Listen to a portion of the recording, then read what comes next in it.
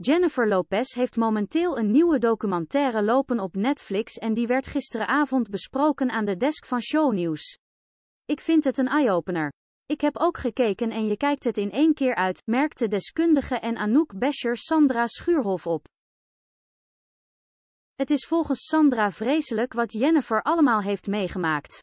Ik was ook echt verbouwereerd dat zij zo is gediscrimineerd.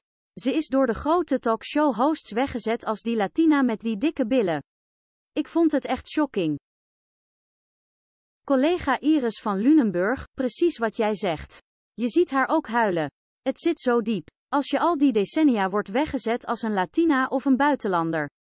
Albert Verlinde, ja, van, schudden met die billen en dat is het dan. Jennifer doet in elk geval ook niet haar best om geliefd te zijn, merkt presentatrice Tooske Ragas vervolgens op. Ik heb haar ooit één keer geïnterviewd en ik vond het een verschrikkelijke vrouw. Ja, nee, we hebben daar geen tijd voor, maar ik vond haar echt uit de hoogte, naar.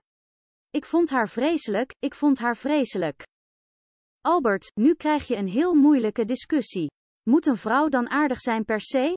Tooske, nee hoor, helemaal niet, maar ik hoef haar ook niet leuk te vinden toch? thank you